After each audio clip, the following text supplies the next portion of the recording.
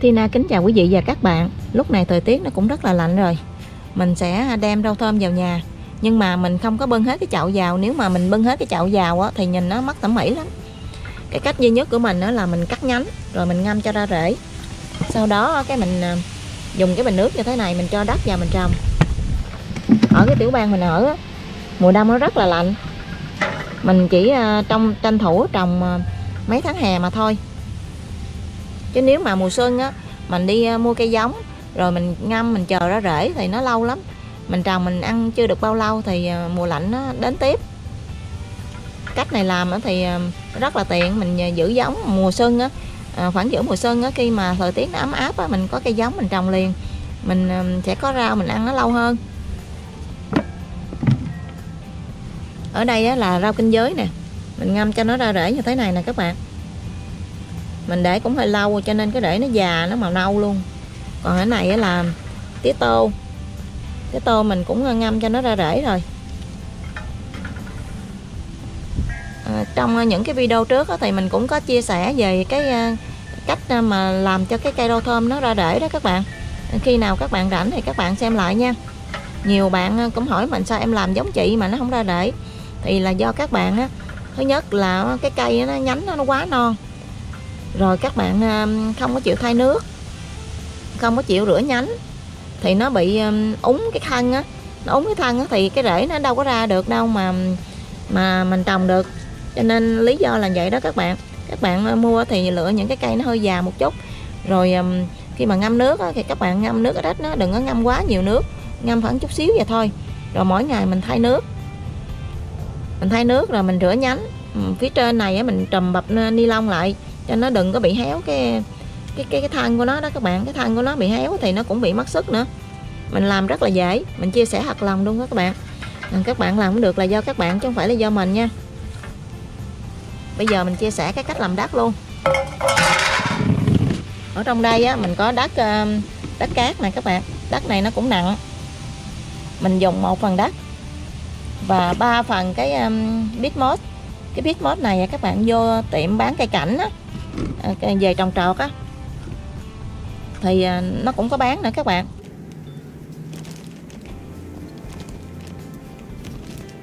Ừ, cái pit mốt này nó xốp lắm các bạn. Nó không có đất, cho nên mình phải trộn với lại đất cát. Đất mà mình đào sau nhà mình cũng được nữa. Nếu mà các bạn không có pit mốt á, thì các bạn trộn hai phần đất một phần um, compost. Hoặc là các bạn có thể mua potting mix mình à, trộn. Một phần đất ba phần à, đất ờ, uh, potting mix cái đất mà ở trong cái bao nó bán ở trong chợ đó các bạn. Thường thường cái potting mix á nó cũng xốp lắm cho nên mình phải trộn thêm đất thì cái à, cây nó mới phát triển mạnh được. Mình trồng mình có kinh nghiệm rồi đó các bạn. Nhiều lần mình trồng ờ, potting mix không á thì cái cây nó non èo à. Nó không có cứng được.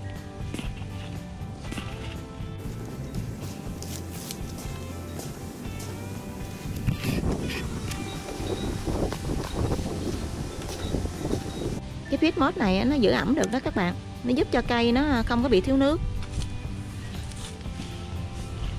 Khi mình tưới á, cái nước nó hút vào đây nè.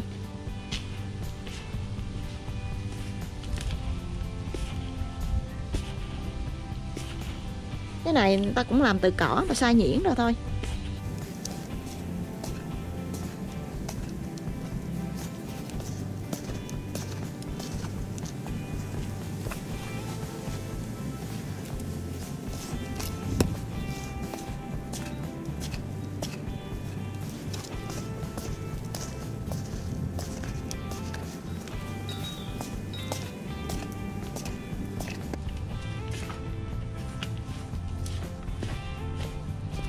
Mình trộn xong rồi đó.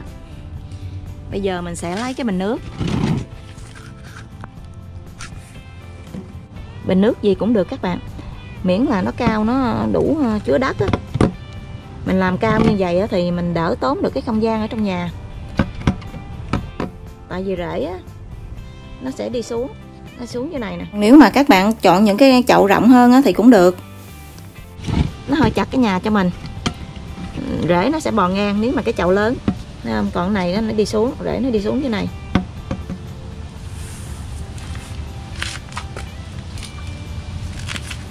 Bây giờ mình sẽ bỏ cái nắp này đi, mình không có sử dụng cái nắp này.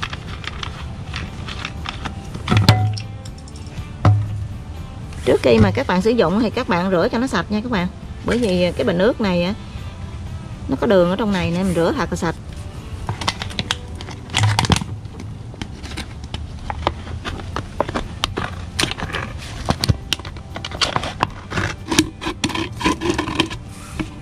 Mình à, tận dụng à, những cái bình nước này để à, mình gieo hạt, mình trồng cây đồ nó cũng tốt cho môi trường nữa đó các bạn. Khỏi cần đục lỗ nha các bạn. Bởi vì mình để trong nhà nếu mình đục lỗ á, thì mình phải hứng cái dĩa cho nó hứng nước lại. Còn ở đây mình để y vậy luôn, mình không có đục lỗ.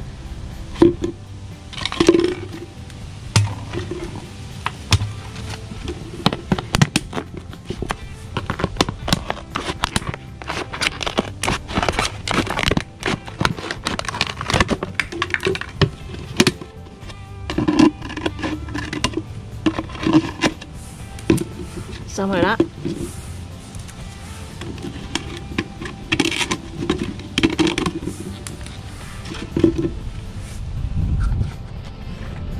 Bây giờ mình sẽ cho đất vào. Mình cho từ từ vào. Bởi vì cái miệng chậu nó hơi nhỏ.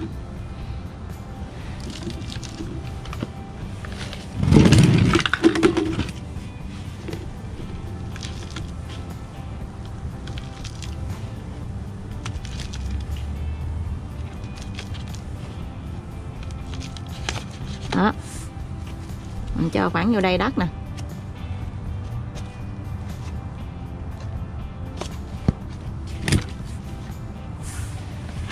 Bây giờ mình sẽ trồng hết cái rau kinh giới này vào. Mình trồng một bó luôn. Mục đích là mình để ờ, giữ cái giống thôi nha các bạn. Đó.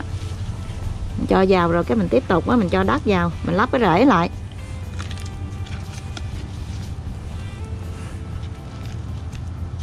Mình à, rất là thích làm vườn đó các bạn.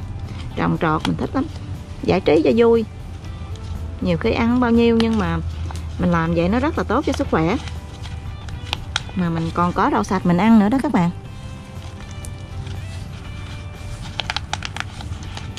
Mình à, em ém nó xuống một chút cho nó cái rễ nó nó, nó dính vào đất.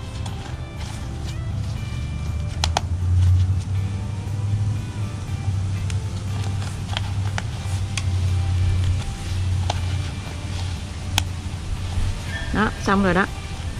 Bây giờ à, tiếp tục mình làm à, mình trồng cái chậu rau à, tía tô. Hồi nãy là rau kinh giới, bây giờ là rau tía tô. Mình cũng cho đất vào.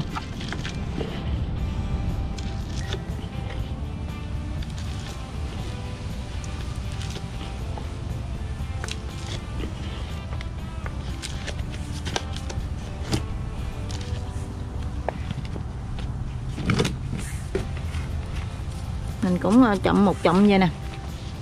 Rồi mình cũng cho vào đây. Xong rồi mình hót đất cái mình lắp cái rễ lại.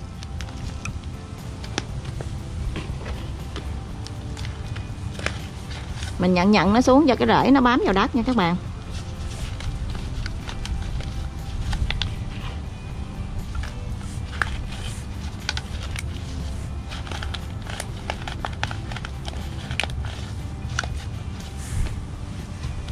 Làm xong rồi đó. Sau khi mình trồng xong á, thì mình à, tưới nước vào.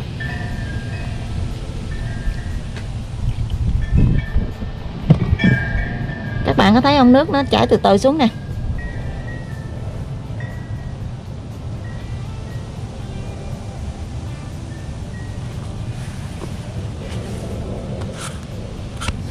Mình tưới vừa thôi nha các bạn vừa đủ thôi.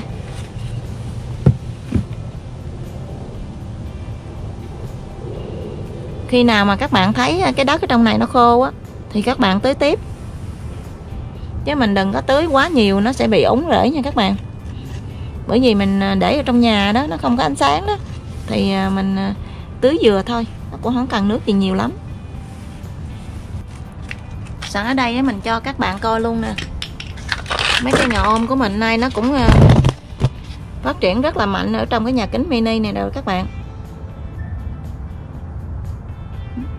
Rất là tốt. Các bạn thấy không? Mình trồng ở trong cái bình nước nè nó rất là tốt nè.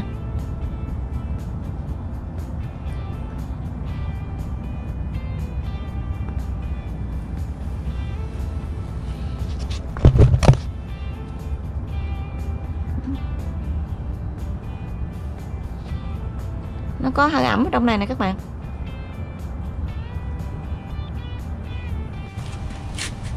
Rồi, mình sẽ đem cái à, cây này, mình à, đem vào mình à, để ở bên cửa sổ có ánh nắng á.